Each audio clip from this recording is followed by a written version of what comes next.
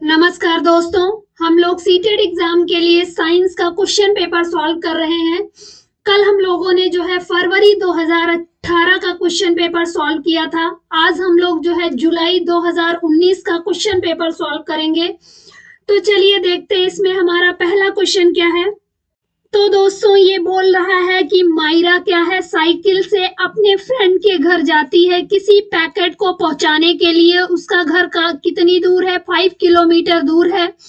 वो जाते समय किस स्पीड से जाती है? ट्वेल्व किलोमीटर पर हावर और जब वो लौटती है तो उसकी स्पीड कितनी रहती है? एट किलोमीटर पर आवर तो वो पूछ रहा है कि उसकी एवरेज स्पीड क्या होगी समस्त यात्रा के दौरान? एवरेज स्पीड हमसे पूछा जा रहा है दोस्तों। हमको डिस्टेंस दिया हुआ है कि उसके घर की दूरी कितनी है? पाँच किलोमीटर है और जाते समय वो कितनी वेलोसिटी से जा रही स्पीड से जाते समय वो ट्वेल्व किलोमीटर पर आवर से जा रही है और वापस जब आ रही है अपने घर तो वो किस स्पीड से आ रही है? एट किलोमीटर पर आवर से। क्योंकि दोस्तों ये जो है जाते और आते टाइम दोनों टाइम क्या कर रही है? सेम डिस्टेंस ट्रेवल कर रही है सेम डिस्टेंस ट्रेवल कर रही है। जब कोई चीज़ जो है सेम डिस्टेंस ट्रेवल करती है तो जो एवरेज स्पीड का फार्मूला होता है two B one B two upon B one plus B two अब हम इसको रखेंगे, इसमें बी वन है ट्वेल्व बी टू है एट अपॉन हो जाएगा ट्वेल्व प्लस एट तो इसकी वैल्यू आ जाएगी 9.6 किलोमीटर पर आवर तो इसमें ये सेकंड ऑप्शन करेक्ट है।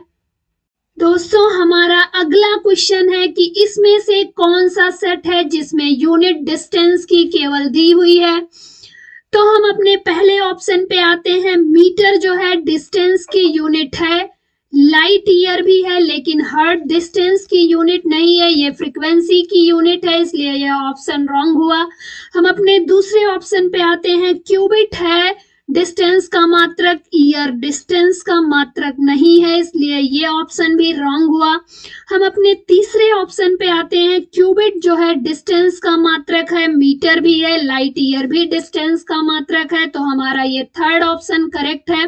लेकिन फोर्थ ऑप्शन में जो हर्ट्स दिया है, ये फ्रिक्वेंसी का मात्रक है, इसलिए ये रॉन्ग है। अब हम अपने अगले क्वेश्चन पे आते हैं। ये बोल रहा है, समीर क्या कर रहा है? समीर रोल कर रहा है। कंचे को तीन डिफरेंट सरफेसेस पे, जो फर्श पे बिछी हुई है। पहली सरफेस क्या है? तनी हुई सेलोफेन सीट है। दूसरा क्या है? दूसरा कालीन है। और तीसरा क्या है? न्यूज़पेपर है। तो इसमें ये बोल रहा है कि जो फोर्स ऑफ़ फ्रिक्शन होगा, उसका इंक्रीजिंग ऑर्डर बताओ। तो दोस्तों, इसको हमने थ्योरी में बताया था कि फोर्स ऑफ़ फ्रिक्शन कब इंक्रीज करता है? जब कोई सरफेस कैसी हो, कोई सरफेस रफ सरफेस हो। तो इसमें सबसे ज़्यादा रफ सरफेस किसकी है? कारपेट या कालीन की। तो अब हम अपने ऑप्शन पे आते हैं। किसमें सबसे लास्ट में कारपेट या कालीन दिया हुआ है? क्योंकि ये हमसे इंक्रीजिंग ऑर्डर पूछ रहा है। तो पहले में दिया हुआ है दोस्तों, और तीसरे में दिया हुआ है। अब हम और ऑप्शन चेक करते हैं तो जो न्यूज़पेपर होता है, वो थोड़ा रफ होता है और सबसे कम खुरदुरा इसमें कौन सी है? सेलोफेन सीट है तो इसमें फोर्स ऑफ़ फ्रिक्शन सबसे कम होगा तो ये ऑप्शन रॉन्ग हुआ, हमारा ये थर्ड ऑप्शन करेक्ट है। अब हम अपने अगले क्वेश्चन पे आते हैं, ये बोल रहा है कि एक ऑब्जेक्ट मूव कर रहा है, सीधी रेखा में या लीनियरली यूनिफॉर्म वेलोसिटी से वो बोल रहा है कि टाइम रिप्रेजेंट कर रहा है एक्स एक्सिस पे तो इसका ग्राफ कैसा होगा? चूँकि दोस्तों, ये एक्स एक्सिस क्या रिप्रेजेंट कर रहा है? एक्स एक्सिस रिप्रेजेंट कर रहा है टाइम को और वाई एक्सिस क्या रिप्रेजेंट कर रहा है? वेलोसिटी को। चूँकि वो मूव कर रहा है लीनियरली यूनिफॉर्म वेलोसिटी से तो जो ग्राफ होगा वो कैसा होगा? स्ट्रेट लाइन होगा। तो दोस्तों, हमारा कौन सा ऑप्शन करेक्ट होगा? वेलोसिटी टाइम ग्राफ जो मोशन का है, वो स्ट्रेट लाइन होगा और पैरेलल किसके होगा? एक्स एक्सिस के। तो हमारा ये फोर्थ ऑप्शन करेक्ट है। ये ग्राफ स्ट्रेट लाइन इसलिए आया है क्योंकि जो ऑब्जेक्ट है, वो लीनियरली मूव कर रहा है और उसकी जो वेलोसिटी है, वो यूनिफॉर्म स्पीड से मूव कर रहा है। अब हम अपने अगले क्वेश्चन पे आते हैं। बोल रहा है कि इसमें से कौन सा पेट्रोलियम का उत्पाद नहीं है? दोस्तों, ये क्वेश्चन इसके पहले भी आ चुका है तो ये क्वेश्चन कैसा है? ये क्वेश्चन बहुत इंपॉर्टेंट है। तो पेट्रोलियम का उत्पाद होता है एलपीजी एलपीजी होता है और पेट्रोल होता है। एलपीजी पेट्रोल होता है। किरोसिन किरोसिन जिसे मिट्टी का तेल कहते हैं। Lubricating oil lubri lubri lubricating oil या स्नेहक तेल इसे कहते हैं। डीजल होता है, डीजल होता है, पैराफिन पैराफिन पैराफिन, मोम होता है, मोम होता है और विट्टो, विट्टोमैन होता है। तो दोस्तों, इसमें से कौन सा पेट्रोलियम का प्रोडक्ट नहीं है? पैराफिन, मोम या बैक्स है। बिटुमन भी है। अभी हमने बताया लुब्रिकेटिंग ऑयल या स्नेहक तेल ये भी है। तो इसमें से कौन सा प्रोडक्ट नहीं है? कोक प्रोडक्ट नहीं है पेट्रोलियम का।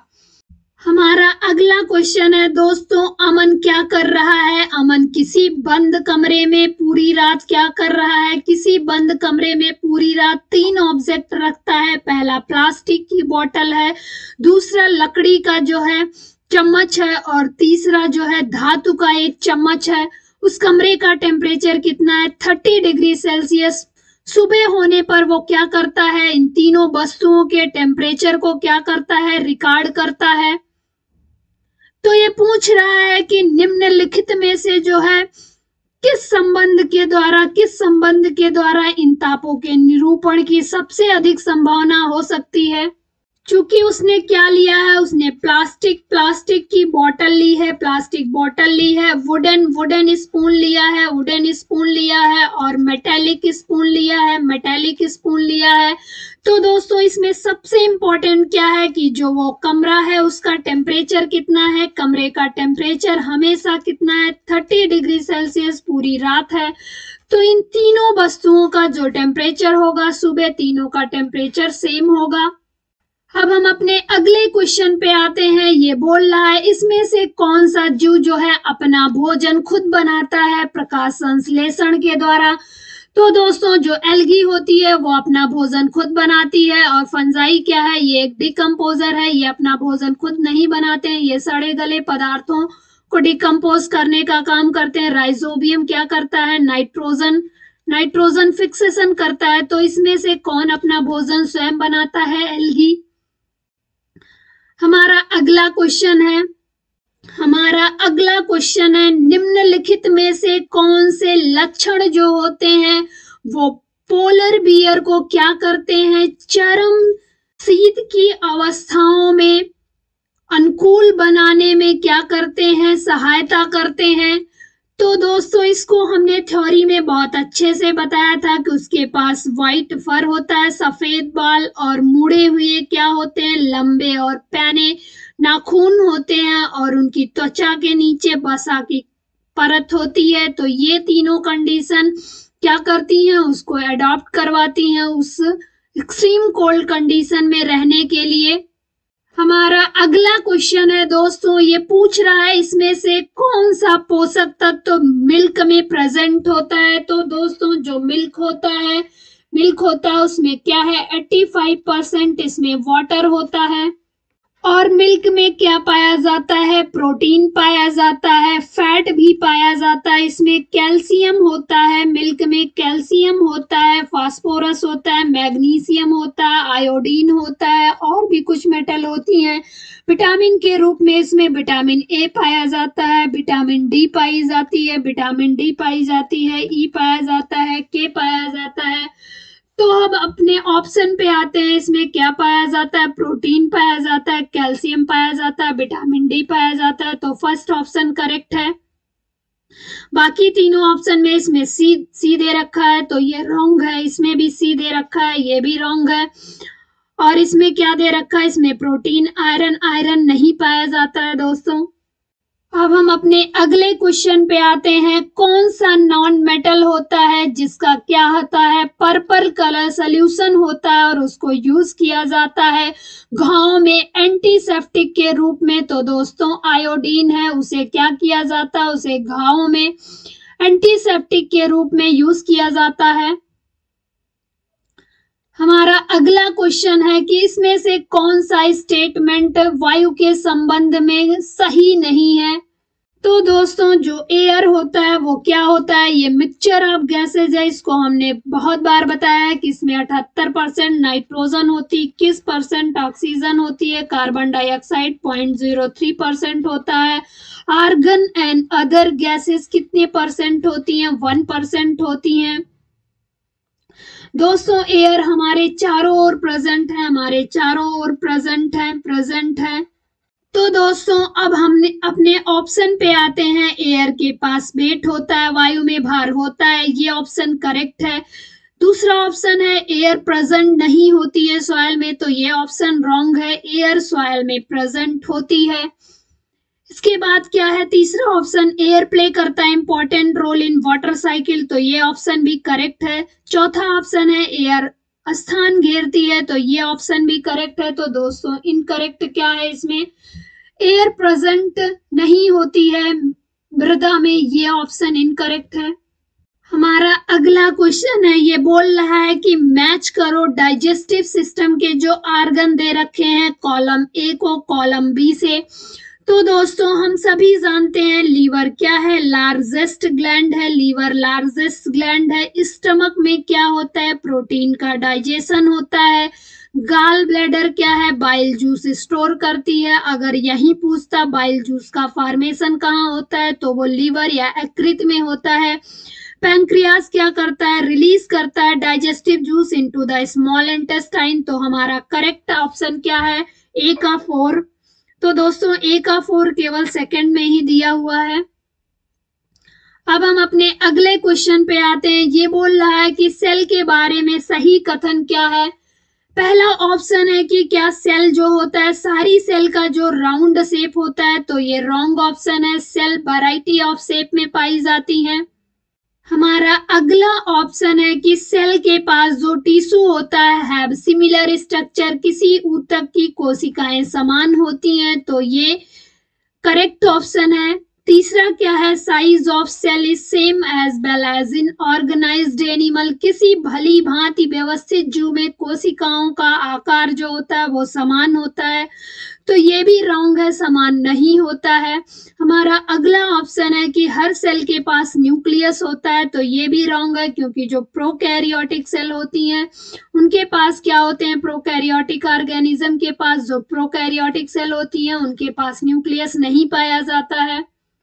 हमारा अगला क्वेश्चन है, ये बोल रहा है, किसको करेक्टली मैच करो दोस्तों? तो जो ईस्ट में किस टाइप का रिप्रोडक्शन होता है ईस्ट में बडिंग होती है। जब हम थ्योरी पढ़ा रहे थे तो उस टाइम हमने बताया था हाइड्रा में भी बडिंग होती है। पोटैटो में क्या होता है दोस्तों? पोटैटो में वेजिटेटिव प्रपोगेशन होता है और एल्गी में क्या होता है? एल्गी में फ्रेगमेंटेशन होता है। ये भी हमने बताया था, किस एल्गी में फ्रेगमेंटेशन स्पाइरोगाइरा एल्गी में। फंजाई में क्या होता है? स्पोर फॉर्मेशन होता है। दोस्तों, ये सब हम अपनी थ्योरी में बहुत अच्छे से कवर किए हैं। आप हमारी थ्योरी को देख के जो है अपने डाउट को क्लियर कर सकते हैं। तो अब हम अपने ऑप्शन पे आते हैं। ईस्ट में क्या होता है दोस्तों? ईस्ट में बडिंग होता है तो ए का फोर ऑप्शन करेक्ट है, केवल एक में ही है ये। अब हम अपने अगले क्वेश्चन पे आते हैं। ये बोल रहा है कि इनमें से कौन सा प्रदूषक होता है जो ओजोन की परत के अपक्षय के लिए उत्तरदायी होता है? तो दोस्तों, हम सभी लोग जानते हैं क्लोरोफ्लोरोकार्बन जो है, ओजोन की लेयर को नष्ट करता है। हमारा अगला क्वेश्चन है, इनमें से कौन सा सेट जो है, वो रिप्रेजेंट कर रहा है समुच्चय संचारी रोगों को? तो दोस्तों, ये जो कॉम्युनिकेबल डिज़ीज़ होती हैं, ये किससे होती हैं? किसी ना किसी किसी ना किसी रोग जनित कारकों जैसे प्रोटोजोआ प्रोटोजोआ प्रोटोजोआ कवक कवक जीवाणु जीवाणु वायरस आदि के कारण होती हैं ये कॉम्युनिकेबल डिज़ीज़ तो इसमें से कौन सी कॉम्युनिकेबल डिज़ीज़ है? दोस्तों एनीमिया कॉम्युनिकेबल डिज़ीज़ नहीं है। इसके बाद हम अपने ऑप्शन पे आते हैं टाइफाइड फिर इसमें अनीमिया दे रखा। सेकेंड ऑप्शन भी रॉन्ग हुआ। तीसरा ऑप्शन टाइफाइड है स्वाइन फ्लू है मलेरिया है पोलियो है। तो दोस्तों, तीसरा ऑप्शन करेक्ट है, चौथा ऑप्शन भी इनकरेक्ट है। इसमें ये दोनों सब जो है कॉम्युनिकेबल डिज़ीज़ नहीं है। अब हम अपने अगले क्वेश्चन पे आते हैं। अमृता क्या कर रही है? अमृता कोई विद्युत परिपथ को क्या कर रही है? व्यवस्थित करने का प्रयास कर रही है। उसके पास पर्याप्त संख्या में क्या है? पर्याप्त संख्या में संयोजक तार नहीं है। परिपथ को पूरा करने के लिए वो नीचे दिए गए, नीचे दिए गए किन मटेरियल का यूज़ कर सकती है? तो दोस्तों, वो यूज़ कर सकती है स्टील वायर का। स्टील वायर क्या होता है? स्टील वायर विद्युत का सुचालक होता है, सुचालक होता है, सुचालक होता है। इसमें क्या होता है? इसके तार में जो है धारा आसानी से प्रवाहित हो जाती है, बाकी ये थिक थ्रेड ग्लास राड ये सब क्या है? विद्युत के ये सब क्या है?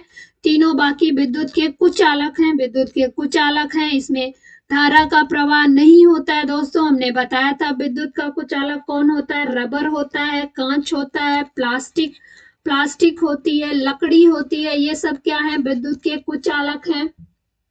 हमारा अगला क्वेश्चन है कि इसमें से सही कथन बताओ तो दोस्तों कॉनकेव मिरर जो इमेज बनाता है वो इरेक्ट और इन्वर्टेड इमेज बनाता है। ये ऑप्शन करेक्ट है दोस्तों, इसको थ्योरी में डिटेल में बताया गया है। आप वहाँ से जाके इसको देख सकते हैं। हमारा अगला क्वेश्चन है कि कौन सा एसिड पाया जाता है चीटी के दंश में? तो चीटी के दंश में फॉर्मिक एसिड पाया जाता है हमारा अगला क्वेश्चन है, ये बोल रहा है कि इतने केजी फ्यूल को जब हम कंप्लीटली बर्न करते हैं तो इतने जूल की एनर्जी रिलीज़ होती है। तो ये पूछ रहा है कैलोरफिक वैल्यू फ्यूल का क्या होगा? दोस्तों, जो कैलोरफिक वैल्यू होती है, उसको हम निकालते हैं एनर्जी एनर्जी जो रिलीज़ हुई ऑब्लिक मास ऑफ़ फ्यूल से मास ऑफ़ फ्यूल से क्योंकि जो कैलोरफिक वैल्यू होती है, उसकी यूनिट क्या होती है? किलो जूल पर केजी होती है।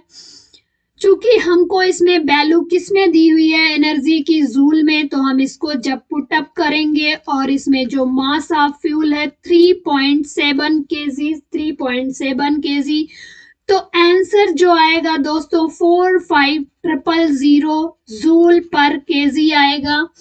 तो हमारा ये फ़र्स्ट ऑप्शन करेक्ट है। तो दोस्तों, इस तरीके से आज हमने सीटेड जूनियर लेवल साइंस का जुलाई 2019 का क्वेश्चन पेपर सॉल्व किया है। दोस्तों, यदि आपको किसी तरह का डाउट हो तो आप कमेंट बॉक्स में लिख के हमसे पूछ सकते हैं। दोस्तों, ये सभी क्वेश्चन हमारी थ्योरी में कंप्लीट किए गए हैं, जो हमारे चैनल के प्लेलिस्ट में है। आप वहाँ से जाके थ्योरी अपना क्लियर कर सकते हैं। टोटल 18 या 19 लेक्चर में कक्षा छह से कक्षा आठ तक की एनसीईआरटी को पढ़ाया गया है। धन्यवाद दोस्तों।